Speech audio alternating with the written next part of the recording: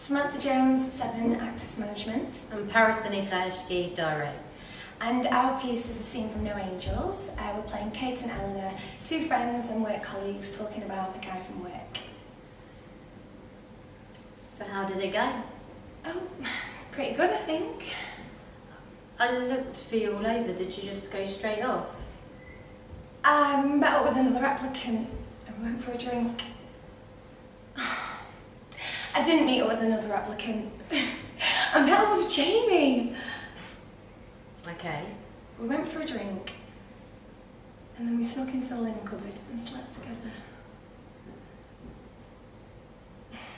I'm, I'm gonna go to bed. I'm not asking for your approval. Oh yeah, you are. We're just going to keep things casual. Hmm, his idea, I bet. Both of ours, actually. Yeah, well that's you all over.